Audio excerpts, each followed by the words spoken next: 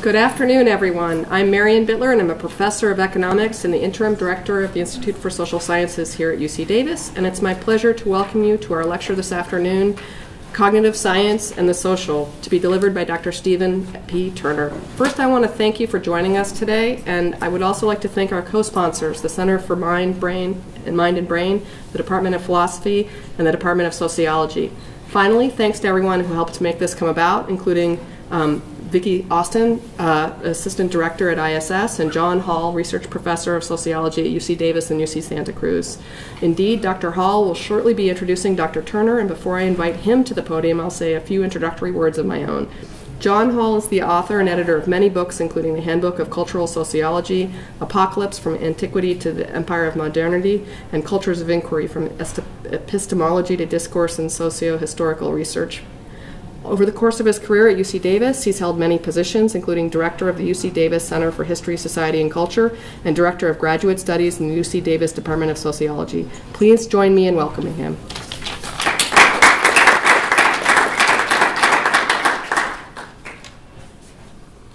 Well, good afternoon. It's a great pleasure uh, to be here and to see the Institute for Social Sciences thriving. And uh, I certainly want to thank uh, the Institute and Marianne and Vicki uh, for uh, organizing this lecture and the other people who sponsored it. I think it's especially uh, really a wonderful opportunity to engage the social sciences with the biological sciences, uh, and that's something that uh, an interdisciplinary conversation that is um, certainly welcome everywhere in the world, and that UC Davis, I think, is pretty well positioned uh, to encourage. And uh, interestingly, I think uh, perhaps the social science side of uh, mind, self, and society, if we can use an old term from the University of Chicago, is um, uh, perhaps the least developed in looking at mind, brain, and the social. And Stephen Turner, our speaker today, is the person to address it. He is the distinguished uh, university professor in the philosophy department at the University of South Florida. Uh, he finished his PhD at the University of Missouri uh, just before I got there, and I didn't meet him until a few years after that. He has published prolifically and incisively on a welter of topics in sociological theory, the history and philosophy of social science, and cognitive science. Uh, among his many other interests, are explaining normativity, especially the conflict between philosophical and social scientific accounts of normativity, and issues related to the implications of cognitive neuroscience for social theory, uh, especially related to the problem of tacit knowledge, uh, which is the title of one of his books, Understanding uh, the Tacit. It would be impossible to adequately characterize the depth and sophistication of Stephen Turner's scholarship without unduly prolonging this introduction. For my part, just let me say that I regard him as the dean of American social theory. Professor Turner has agreed to a period of questions and discussion following his presentation, Cognitive Science and the Social. Please join me in welcoming Stephen Turner.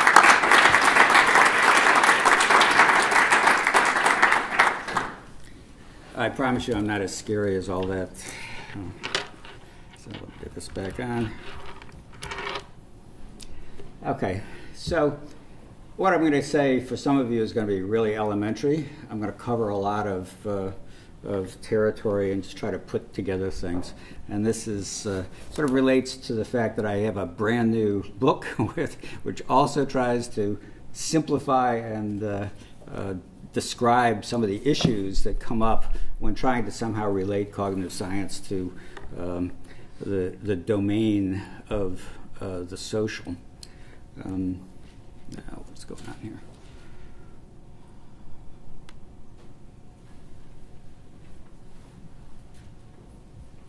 Okay.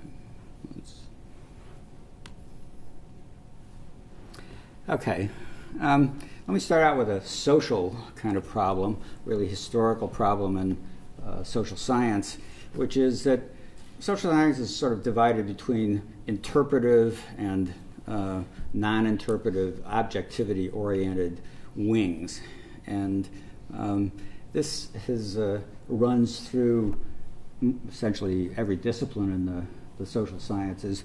And the basic idea has been that um, things you can count are objective, and we need, in order to make the social sciences scientific, we need to concentrate on those things that we can um, count. And this famous incident in the history of social science where uh, William Fielding Ogburn was given the, the responsibility of providing a motto for the social science building, and he quoted uh, Kelvin saying something along the lines, he misquoted him, saying something along the lines of, if you can't measure, you can go home, give it up. and the uh, uh, faculty were outraged about this and threatened to uh, um, in, in the Chicago parlance at the time, take him for a ride, meaning take him out and like a gangster and have him shot for saying this. So that was it was a strong uh, issue um, at the time and uh, ever since. So the alternative was a kind of interpretivism, and the issue with that was it wasn't really objective, and the solution to that was that any interpretation could be substantiated in some sense. And the idea was that, well, we need to turn this into a technique as well. So called, they borrowed the name of hermeneutics from biblical uh, hermeneutics and uh, invented a lot of methodological ideas about how you made interpretation more objective. So that's the way things were um, until pretty recently. So then you get this shocking discovery of uh, mirror neurons. And the, the story, which uh, I'm repeating like 99th hand, God knows what the truth is, uh, is one of these great discovery stories. So they've got a monkey strapped in and they're checking uh, to see what uh, neurons fire off when he does uh, certain motor activities, moving his arm and so on and so forth. And it's a hot day, and the uh, uh, research assistant who's doing this uh, goes out for a gelato and comes back. And he starts eating the gelato. He looks up at the screen and he sees that the monkey is firing off the same thing. And what this shows is was that the motor neurons were being fired at the same time as the perceptual neurons. There had to be something connecting the two, and that's what they discovered as uh, uh, mirror neurons. Okay, then there was previously, whoops, lost that, uh, some fascinating research by psychologists, by Meltzoff and Moore. I think that's Meltzoff in the, the picture there. And uh, uh, you can see the hairstyles. It was the 70s.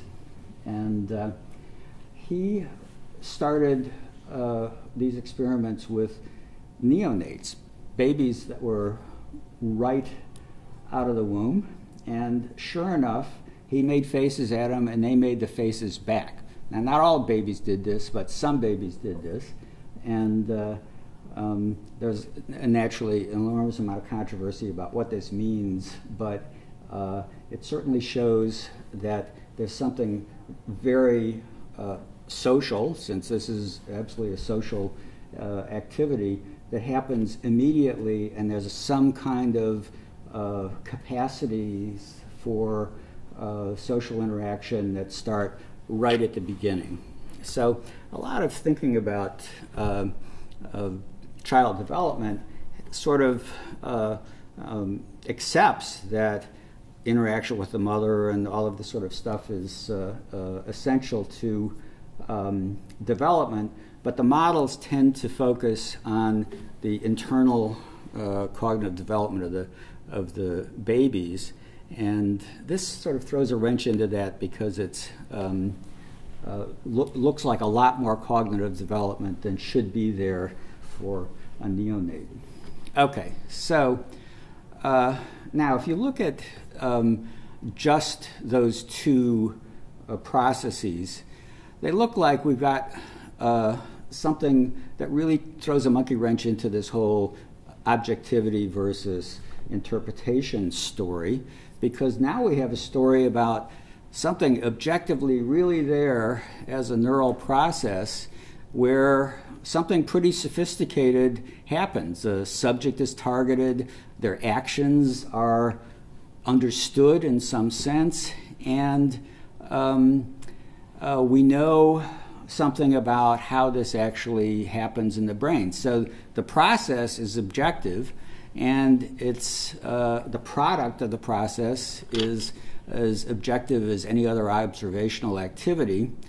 Um, and no matter what you think of this, it seems to be a component of uh, understanding. And since understanding is what we do to one another and social interaction, um, that makes it pretty um, important. Okay. So, however, uh, there are some pretty big limitations to uh, understanding um, in general. Um, what we understand about other people and what we understand about ourselves goes together pretty closely. When children learn mentalistic terms, they learn it for others and themselves at the same time. Uh, and when we think about what we can understand by ourse- about ourselves by introspection or reflection or whatever, um, and we uh, think about what we can't understand about ourselves, there's a big area that we can't understand about ourselves. So we can't understand how uh, things go from our uh, irises to our brains and make images. We can't introspect that, but those are all processes that are pretty important. And the other feature of this that makes things really complicated uh, or problematic for a general analysis is that mental terminology varies culturally. Uh, and we can sort of pretend that it doesn't and say that, well, there's a, a, sort of standard conception of action that corresponds to a theory of mind and so forth. Uh, but it does run into problems when you try to apply those uh, uh, notions to uh, other cultures. Um, okay, so later on I'll talk about this as the Verstehen bubble. Verstehen's just understanding, uh, and uh, the bubble, by the bubble I mean the limitations, the limitations that we have in even thinking about the mental world, but that we use in order to interact with other people and so forth, and also that we use in social science to understand um, stuff that goes on in the social world. So I'm not going to give you a fancy argument for that, but I think if you think about it a little bit, uh, even if you look at something like um, a causal model in economics or uh, in other social sciences, when you start breaking down the links that form the arrows in that uh, causal model and those directed arrow graphs that make up causal models, um, they're not links that are that represent laws of science. They're links that represent something that we understand. Usually, uh, kinds of actions that somebody might take that link one input to uh, another output. So, when you get to the very bottom of social science explanations, you usually find something that's uh, fundamentally uh, mentalistic. So, it really belongs in this uh, Verstehen uh, bubble. Okay, so that's social science, and their, that's their world. Uh, with cognitive science, um, I'm going to try to give you a very brief overview that relates to this, but uh, the uh, main distinction I want to make is between something I'll call the standard approach, and which is uh, that uh, as Herbert Simon famously put it, the, the brain is a computer made of meat.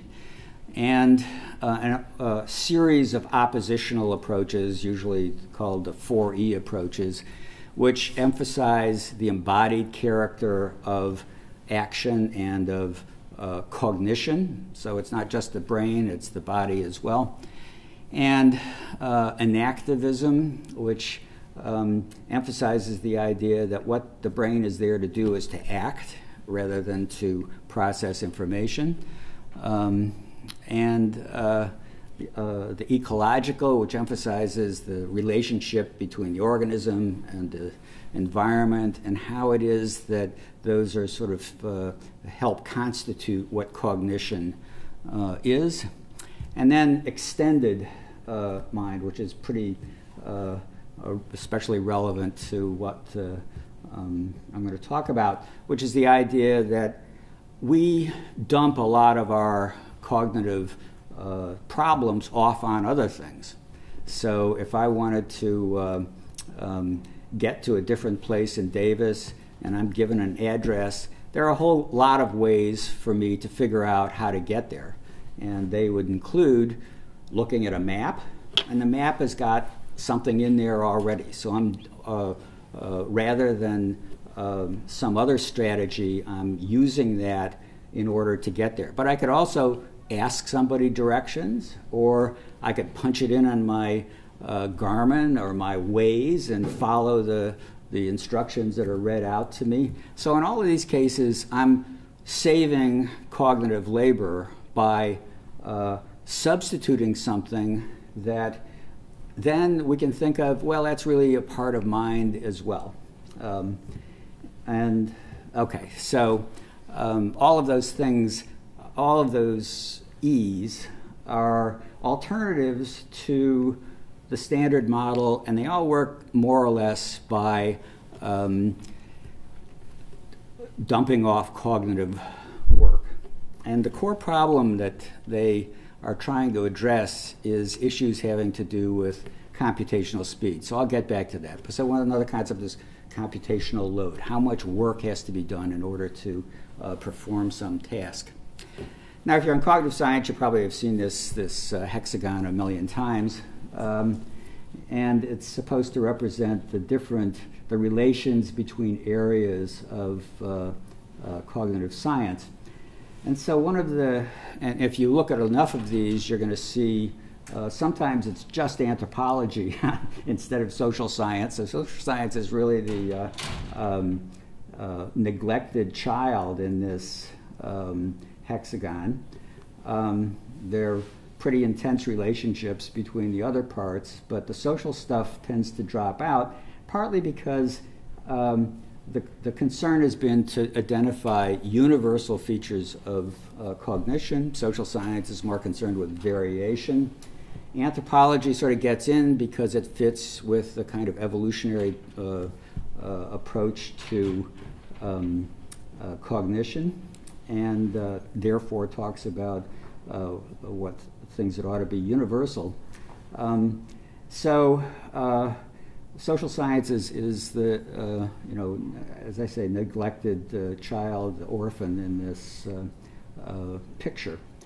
Um, but an odd thing about the 4E uh, approaches is that they, in, entirely without attempting to, and not because they came out of a desire to engage the social, they all involve things that involve social variation. So they open the door in a way that the classical model really doesn't do to the uh, uh, social.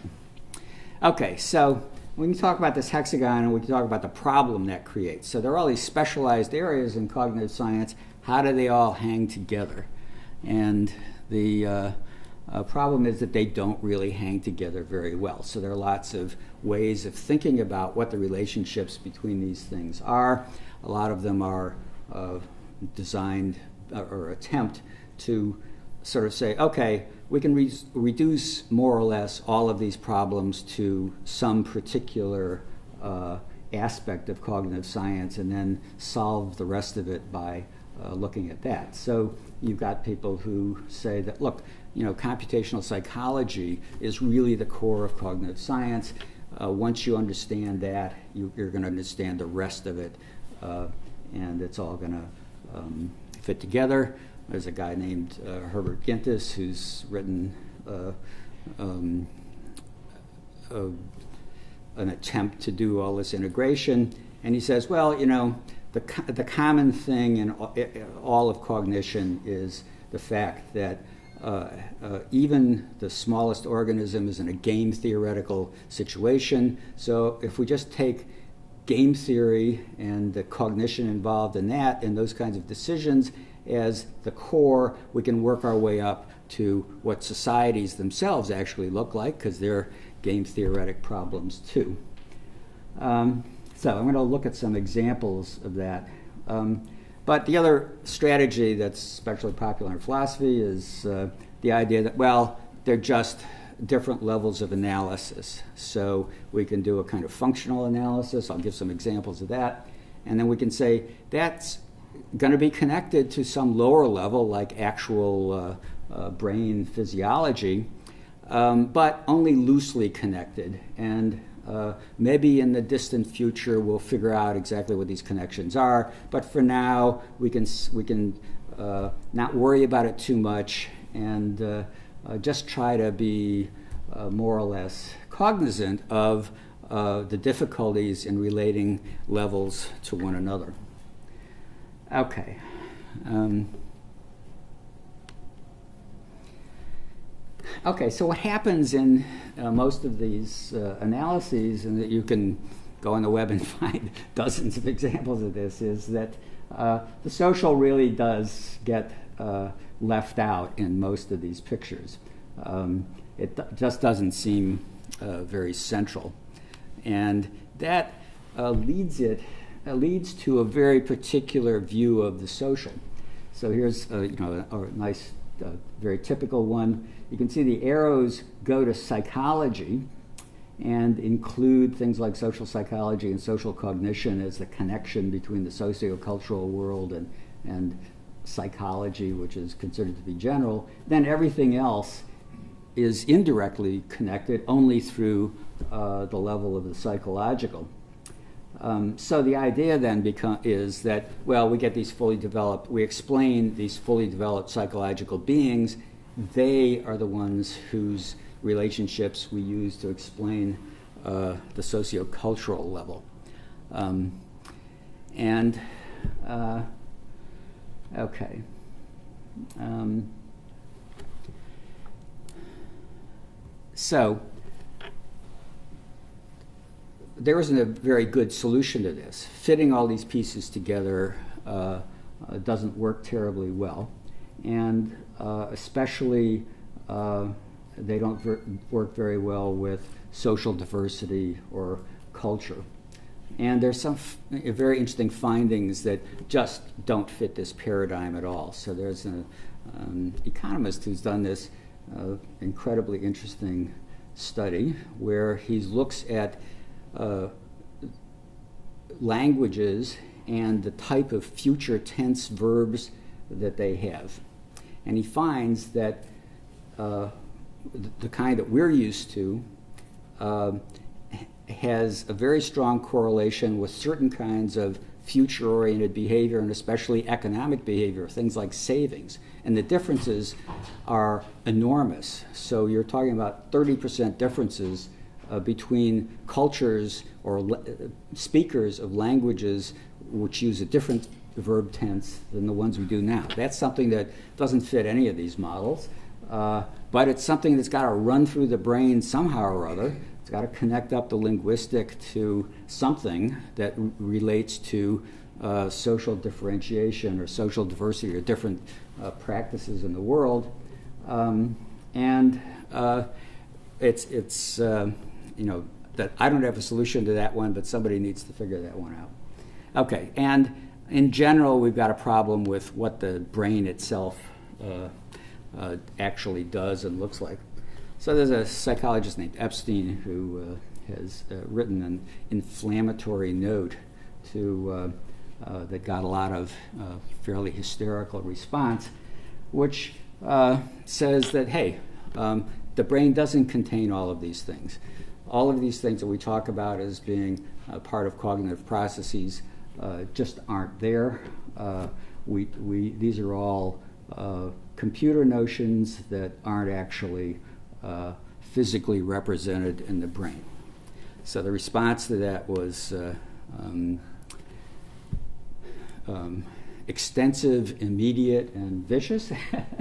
And uh, it said something like this, and this gives you an idea of what actually the mainstream alternative looks like.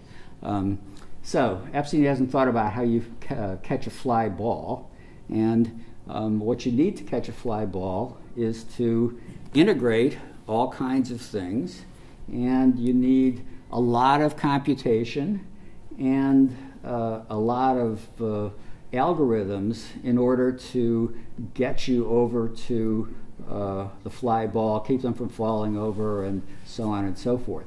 And the punchline is I'd like to see Epstein design a walking robot, long, a running robot without any algorithms at all. So that, that's pretty clear that the model is something like AI, that uh, when we think about the brain, we need to think about it as having a design like uh, a robot, and it's got to contain all the computational stuff that's necessary to make a robot uh, do something. So, yeah, this is an assumption, and it's uh, part of uh, the sort of the what I'm calling the standard view. The other part is what uh, uh, some kind, sometimes called encodingism. Um, it's the idea that in it, the brain has to do some kind of um, logic-like information processing, and the uh, because it's logic-like, it's got to be logic-like in the familiar ways of logic. So logic works with well-formed formula and rules, and so the idea is that if we think we're, we're thinking by combining things. We have to have things in the form that can be combined. We have to have rules that combine them. And the brain needs to be generating these things. So things like uh, um, sentences and so forth uh, seem to be the kinds of things that have to have uh, this kind of coding structure. Um, so, but these are these have to arguments. You assume that the brain thinks in this particular way, and those are sort of vulnerable ar- arguments. You're not really finding that. You can find experiments that uh, seem to conform uh, to that. Um, but to get to the level of saying that's really how the brain works is uh, still a stretch. So these arguments uh, are all over the place, and they basically work uh, like this um, that um, in order to do something, uh, um, it, it, the kinds of things that a computer does, the brain has to do the kinds of computations a computer does, and uh, the um, the way to understand the brain is to understand the algorithms that enable the brain to do this stuff. So you can see with all of this, so even some simple thing like catching a fly ball, it's going to be enormously complicated and enormously difficult computationally to simulate. And you, so, but to, to make this argument stick, you're going to have to say that the brain is a super busy computational uh, machine. And it really does raise the question of is this really what's going on in the brain? Uh, so uh, even people who, who are enthusiasts about this approach have their doubts, and there are uh, a lot of people who are uh, very skeptical about uh, this. So, uh, a, an example of how um, this can misfire is the uh, history of um, um, computer chess programs. And they were originally designed by what people thought chess masters did. And it was something that was very computational demanding, computationally demanding. It involved figuring out for each possible step what the possible consequences would be out to X number of steps. Uh, and the computer worked better the more it had uh, in the uh, way of uh, of um, computational power to, to go out to more and more steps and so on and so forth. And then, then it, the question was, well, this is how grandmasters think. And so grandmasters sit there and play 30 games at a time. They do it instantly. Uh, they um, uh, don't seem to do a lot of uh, computation when they do it. Um, so, how do they do it? Um, so, uh, Herbert Simon, who is my my hero in a lot of ways, but uh, the source also of the, the, the standard approach in a lot of ways, uh, had uh, worked a lot on pattern recognition, especially in the in the 70s. When I was a young assistant professor, I wrote him about something, and he sent me this huge packet of articles on uh, pattern recognition. And what he, he was interested in was how you, could you uh, have AI do scientific discovery. So his problem was, well, you couldn't. It didn't really work with induction. Uh, that, but it might work if you, if uh, it was pattern recognition. Um, so he applied this stuff to uh, chess as well. And the argument that uh, he came up wa- uh, with was that, well, what chess players do is they recognize patterns and they organize the patterns that they're able to recognize in bigger clumps, which allows them to uh, sort of instantly see what the consequences are of a particular uh, uh, chess move. Um, and they've got just bunches of these to uh, um, rely on when they're going around uh, playing 30 games at a time. So, what this suggests is you can get very similar outcomes playing chess with radically different underlying processes.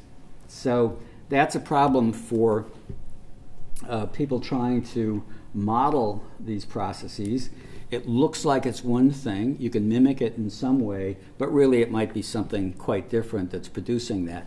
And in the case of chess, is sort of interesting, and also the case of uh, Go, which has been a hot topic recently.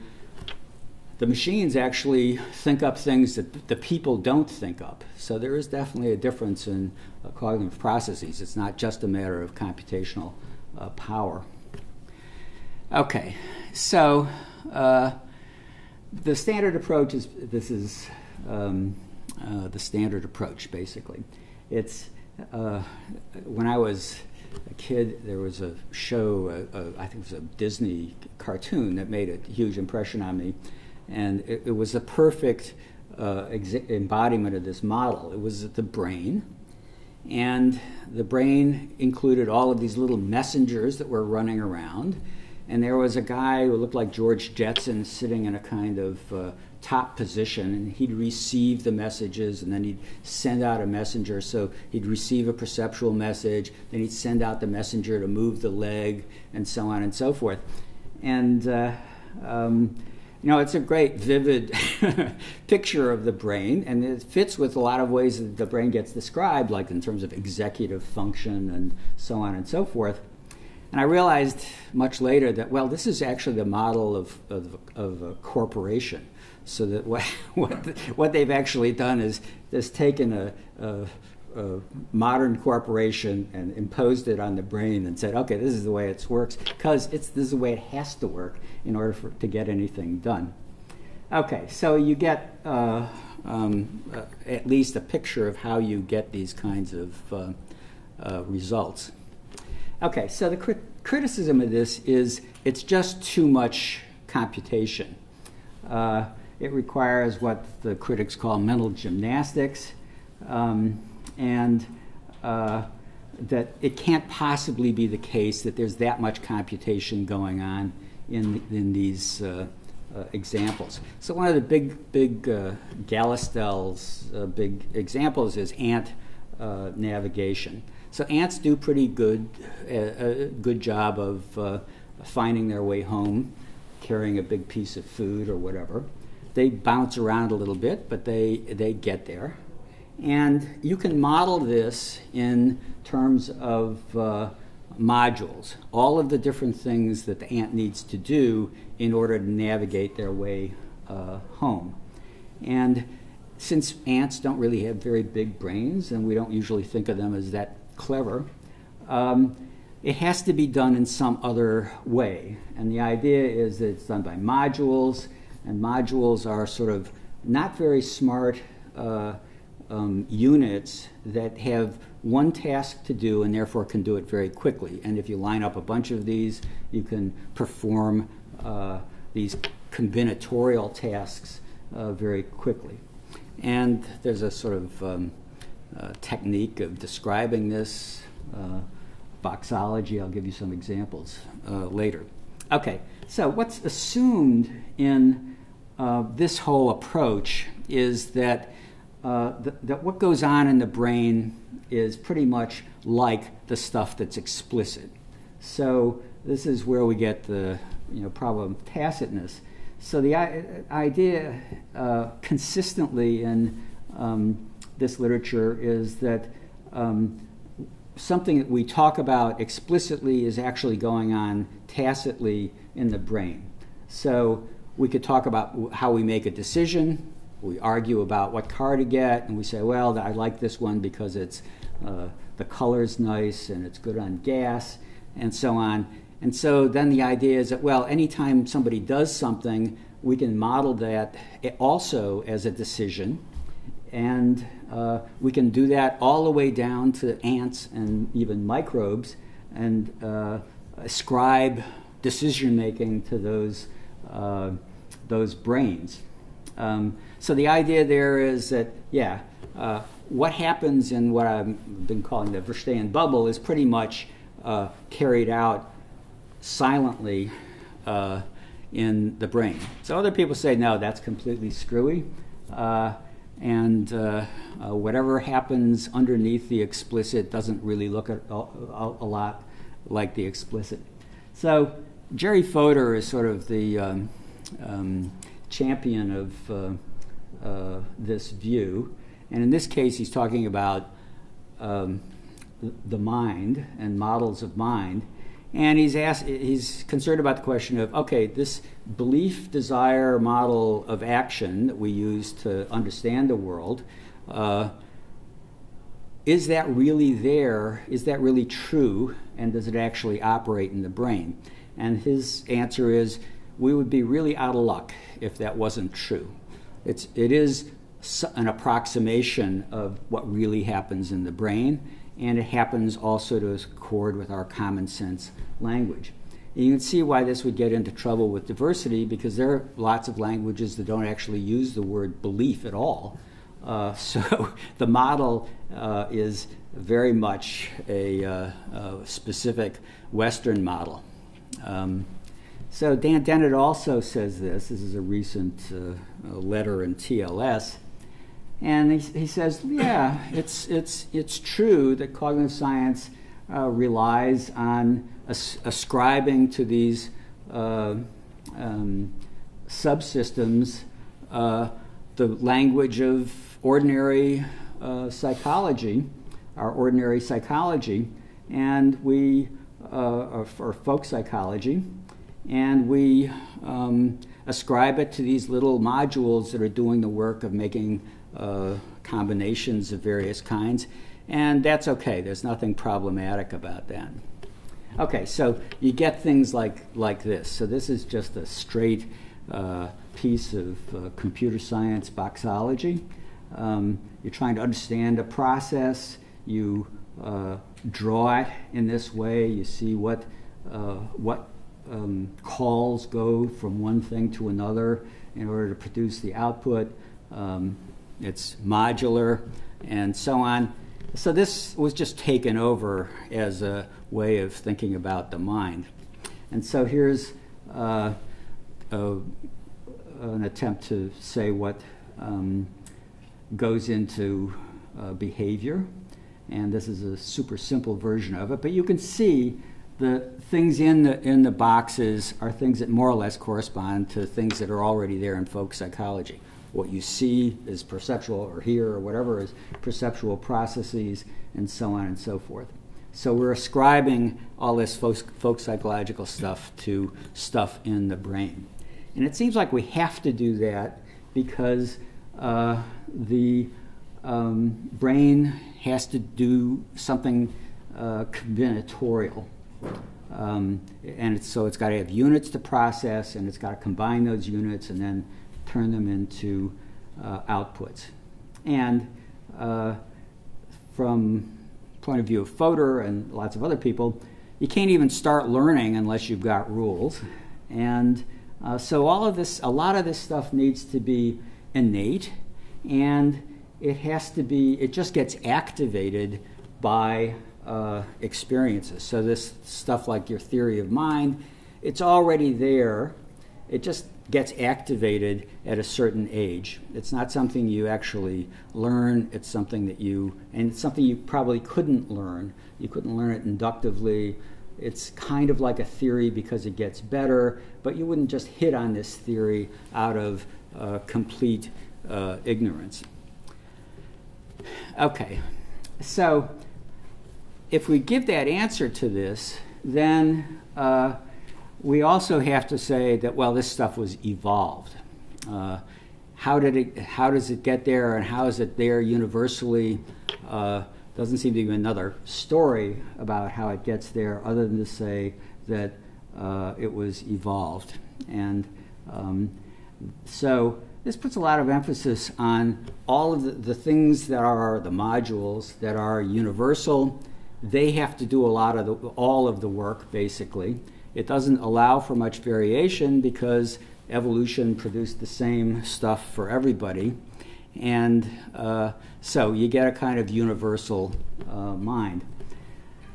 So uh, the, there's something odd about this. This is the way they're supposed to work. Uh, they're silent and uh, we're not aware of them.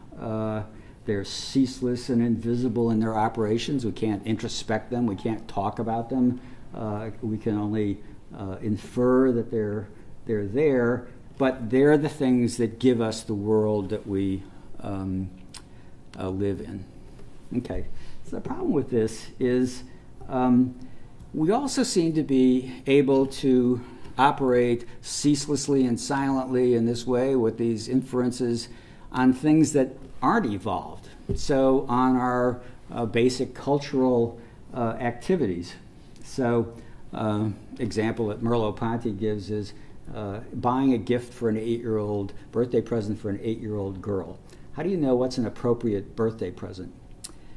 Well, that's cultural knowledge. You know, if, if I'm in uh, Pago Pago and trying to figure out what to give, I don't know. I wouldn't know. Do a carved coconut? Uh, I just wouldn't have any idea what that would be. But we can instantly see, well, no, that uh, um, AR-15 is probably not a, an appropriate gift for an eight-year-old girl. We and, and, we don't have to think at all about that sort of thing. We uh, are pretty good at uh, uh, making these kinds of judgments without much uh, effort. So that looks like exactly the kind of of uh, high speed stuff that uh, should be universal, yet we've learned it somehow or other.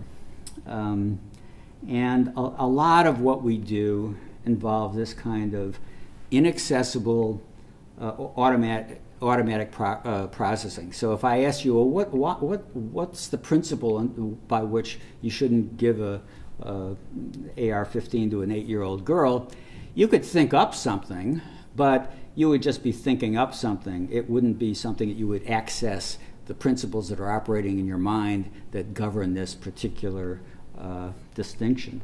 So this isn't the evolved kind, it's some other kind. And that turns out to be pretty important for social life. Okay, so, uh, so here's the way things go. Uh, we take this ordinary folk language and ascribe stuff to these inaccessible thoughts that make them look like they're the same thing. And uh, it's culturally specific, which may be a problem. And maybe that doesn't matter because uh, there's a universal language of thought that is just tacit, and that's Fodor's solution to this. But as his followers even say, this would have to be incredibly massive to account for all of our uh, actual language, which makes it a little less uh, plausible. So, is there an alternative to this uh, fancy picture?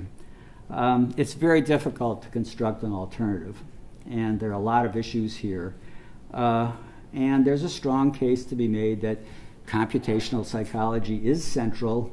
The key to all of this, these issues is how fast the brain does these tacit operations. Um, and every alternative is also computational, they're just different computational uh, models. Um, but it may be that a lot of what we do is something works uh, cognitively works something like this, at least in, in the level that we're talking about. Um, maybe it's a lot like the chess case that we do recognize lots of uh, patterns out there, and uh, we know that people are really good at recognizing patterns. In fact, they're really good at recognizing patterns even in random stuff. They think they're patterns when there aren't patterns. So we're, we're pattern uh, producing, pattern recognizing uh, people, and we're also really good at looking at very limited data and figuring out what's going on. Um, so a lot of some of these early mirror neuron uh, related studies tried to figure out, okay, you're looking at somebody walk, how, what um, pieces of data do you need to recognize that? And so they taped reflective uh, things on people and put them in black suits and filmed them and showed this to people. And they could they only needed three different data points in order to fill in all of this stuff. So that's true for motion but it's also true for things like social situations and so forth. We see bits of it uh, we we fill it in.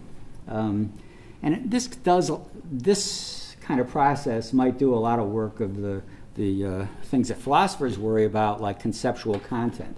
Um, so uh, there are possible alternatives to this uh, encodingist uh, story.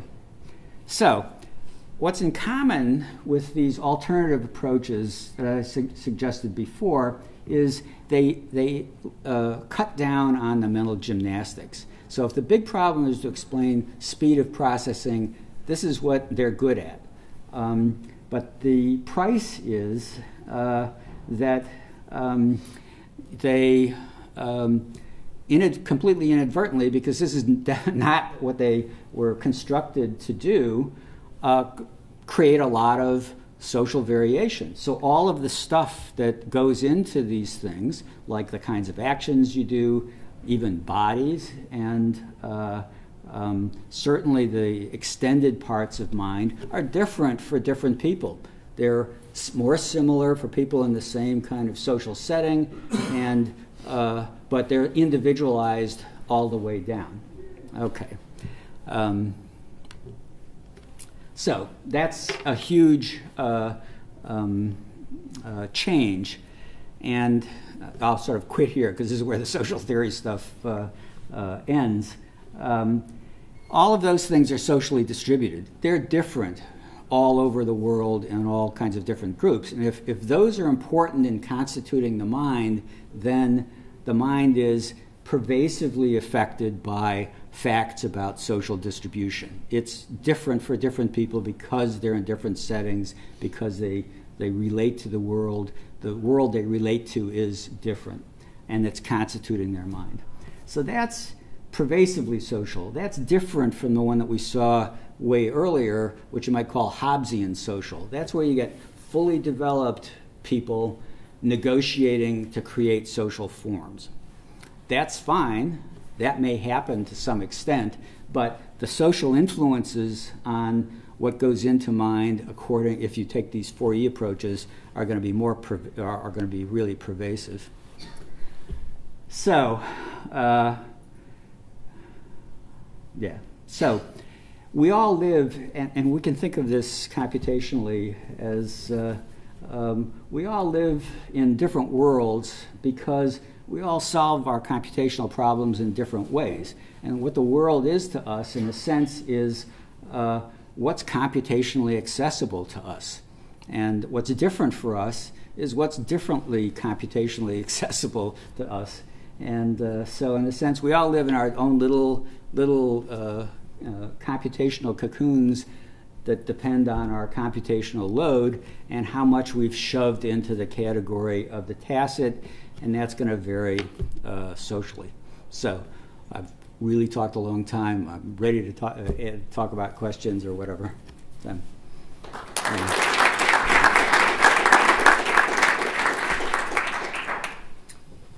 Okay. Um, fascinating and um, raises, I think, a lot of uh, issues.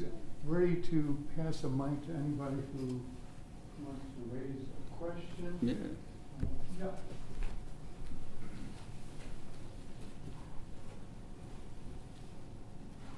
Hi.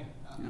I would like to know what, in your view, would you consider intuition to play in um, understanding social relationships as we do with formal mathematical and logical relationships? Yeah, there's a, a recently published book by uh, Mercier and Sperber that, that talks about uh, intuition. And I, am not sure I'm convinced about this line, but I think it, there's something to it that um, there are um, intuition has a relationship to these underlying cognitive processes, and uh, it's a, not a direct relationship, but our intuitions are you know produced by these underlying processes, and then uh, we then struggle to articulate them, and so on and so forth. Um, as pl- I, I, you know, there's no picture I've got, or they that they have either of how that actually happens in the brain, but it does, you know, th- there's certain plausibility to it. So especially if if uh, um, you know it's a sort of mirror neuron case, and I'm uh, you know uh, looking at somebody doing something, and I realize what they're doing. There are two stages there. There's something, some fundamental stuff going on in the brain, and then it comes to consciousness. So if it's not inhibited or whatever, it comes to consciousness in some form. That sounds like an intuition.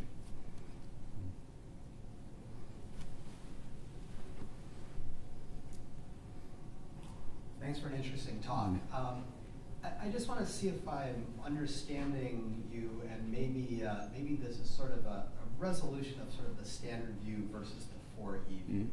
So here's an analogy. If I have a, an iPhone in my pocket, I think probably many of us do, mm-hmm. and it's a computer. It right. is a traditional computer.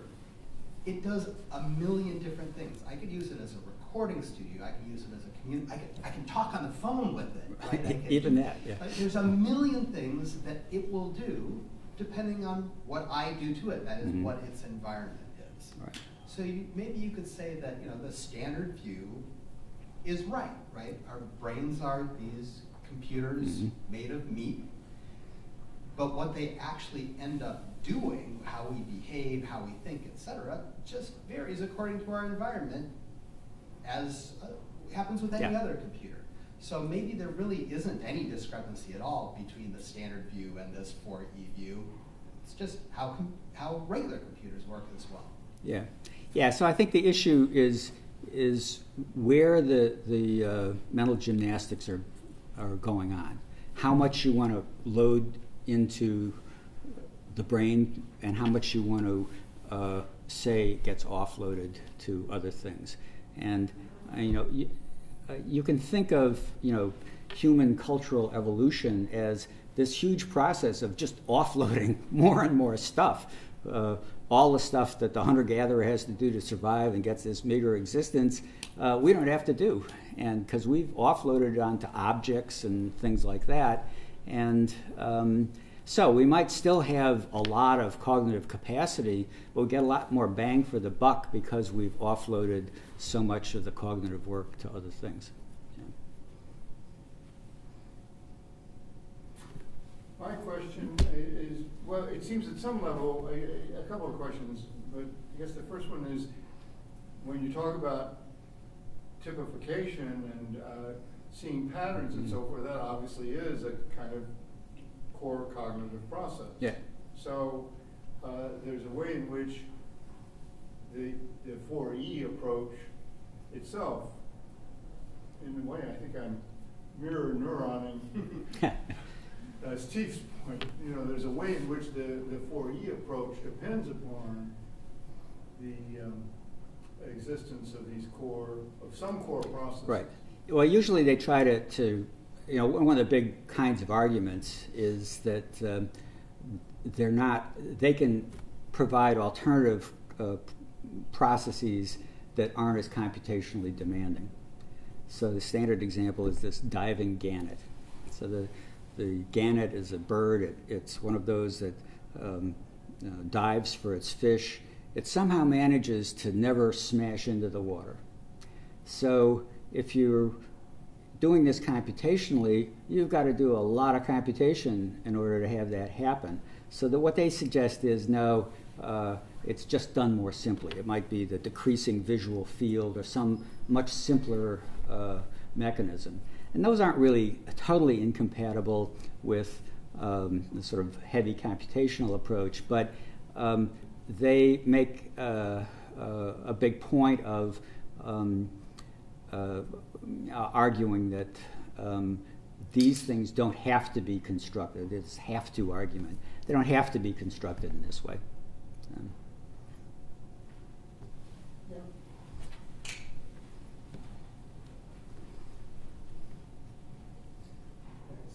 Um, I guess I have a fundamental question about the uh, cognitive science enterprise and uh, the computer metaphor that it seems to be almost entirely based on. So, um, you know, as humans, and we, we, we created these remarkable tools that we call computers, and it seems we've become very enamored with right. their power. They do amazing things for us. And somehow, socially in the process, we've become so enamored with them that we've um, assumed, or we somehow assumed that it, the component processes, the modules, the processors, everything we put in are somehow uh, an inherent part of the universe or at least yeah. biology on the planet. And I just wonder to what extent um, the you know orientation of our thinking in that regard really prevents us from thinking about things in a you know more based in chemistry, biochemistry, mm. biology, where there's all sorts of quote computation that occurs. Obviously, it does, but the the principles on which that happens are so vastly different from binary logic. Right. And what that enables, that have we constrained ourselves uh, in terms of making progress on understanding cognitive science writ large, not just yeah. for humans, but as applicable, uh, you know, across many species, by clinging to these computer metaphors. Yeah, you're asking the $64,000 question. I think the, the issue is that this is such a powerful metaphor and it seems to do such great things that even though you get all these different alternatives that are all partial alternatives, they don't really add up to something that is equivalent to and as persuasive as the original metaphor.